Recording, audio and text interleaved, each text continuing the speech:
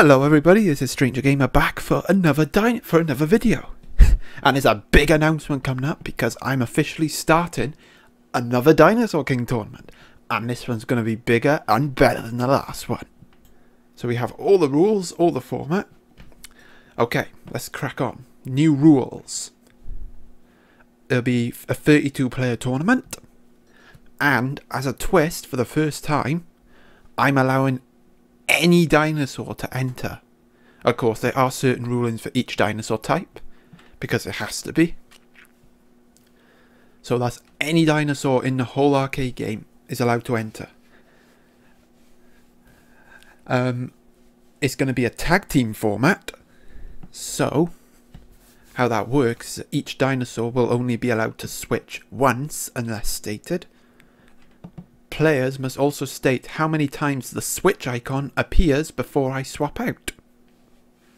So for example, if you when you enter your dinosaur and you say three times, I will swap that dinosaur out on the third time the switch icon appears. So I hope that's not too complex. Shouldn't be. Okay, so we have a group stage format this time, which is different from my last tournament. We have four groups of eight as I already have the group table ready. And you play each player once. The top four players will advance the bot to the last 16 and the bottom four will be eliminated. You get three points for a win, two points for a draw. Now I know people are thinking, hang on a minute, you can't draw in Dinosaur King. Well, in theory you can, because if you're down to your last two dinos and their health is like a, they have a sliver of health left each and they tie, the game will randomly decide a winner. However, if that does happen, I will deem it as a draw because that would be the only fair outcome. So that's what I mean by a draw. So we have, and you get nothing for a loss, obviously. I've also introduced a bonus point system so a player will get a bonus point if both dinosaurs survive, if you win and both your dinosaurs survive.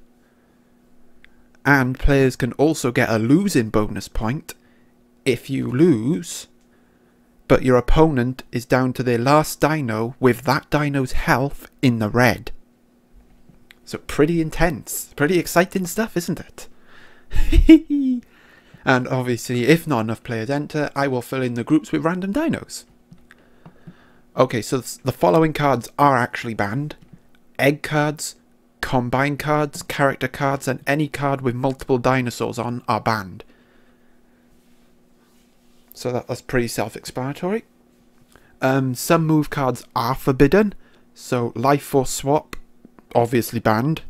And Death Fire, which is a bit of a controversial one, and you'll see why later, but Deathfire, the move itself, is banned. Um, placement videos will be posted. The placement video will be posted after the deadline is passed. So once the deadline is passed, which is April 15th, 2020. Obviously, it's not going to be 2021. yeah. I'll post another video for everyone's placement. So yeah, if you want to enter this tournament, the deadline, as I mentioned, is April 15th. And the way to do it is to either message me on Discord or comment down below this video with the hashtag hashtag DK Stranger Tournament and in that exact typing. So then I know that you want to enter. So, yep, and last but not least, like my last tournament, moves will be randomly generated using RNG. So just like my last tournament, 1 4 rock, 2 5 paper, 3 6 scissors, everyone's allowed to enter this time. Right, now let's get on to the hard stuff.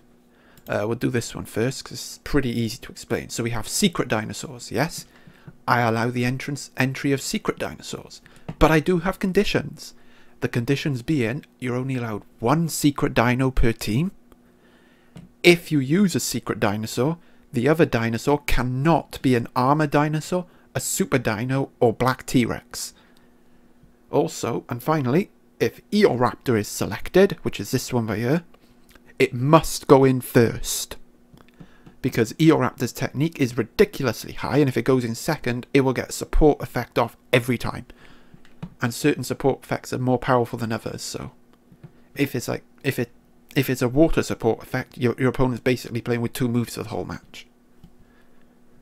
So yeah, there you go. Black T-Rex now. Quite self-explanatory one. If you use Black T-Rex, again, the other dino cannot be an armor, super, or secret dino. Um, one twist I added is it cannot have a scissors move since it has a built-in death fire. So this is what I meant by the banning of death fire, the move itself being controversial because Black T-Rex will be allowed to use it because I'm allowing Black T-Rex to enter. So yeah, you cannot have a scissors move. And if Black T-Rex does get a Deathfire off, the opponent will get a free hit next turn. And that free hit will be weak to whatever that opponent's critical move is. So say for example, Black T-Rex comes in, kills Saurophaganax. A Parasaurolophus comes in. That Parasaurolophus will get a free hit, which will be Scissors, because the Scissors is weak to its critical move, which is Rock. Okay? Hope hope you understand. And, uh, and the last one must be first dino, and it cannot be switched. Because you could put it in second, and it can instantly win. Which is, I don't really like. So it must go in first. Okay, now for the complicated ones. Armor dinosaurs. This one might be a bit controversial, but I'm gonna... I did do a beta testing with this tournament, and my rules seem to work work pretty well for all of them.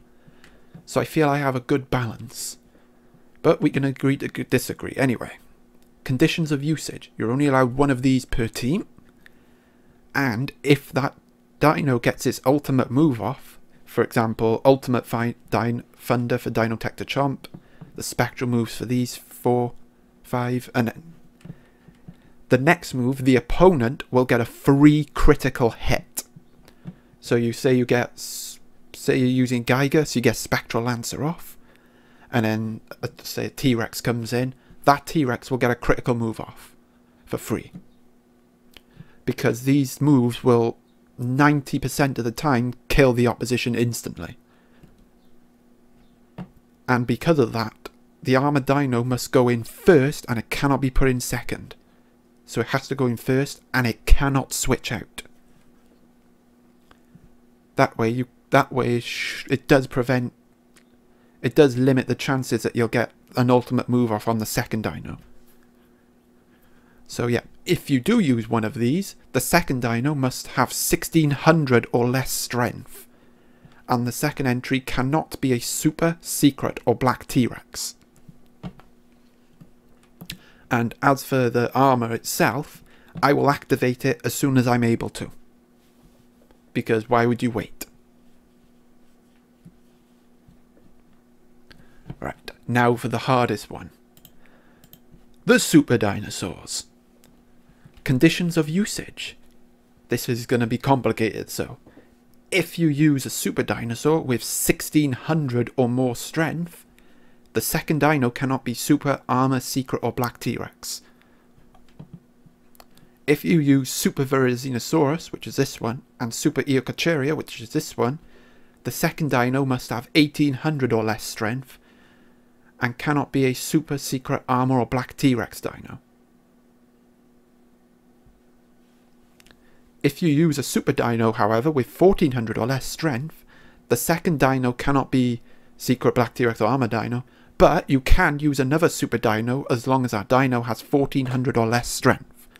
So say you use Super Nodosaurus, then you're allowed to use something like Super Triceratops, no, not Super Triceratops, uh, hang on, Super Coryphosaurus. Awaken mode can only be used once per dino per match. Uh, certain super moves I've banned.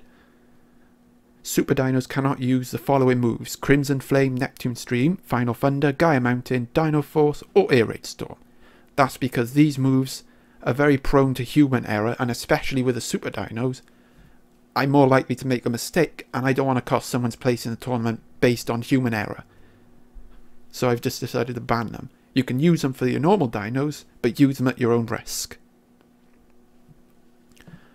Okay, if you do enter a Super Dino, that player, you must state the number of times this icon here appears before you want me to activate the Awaken mode.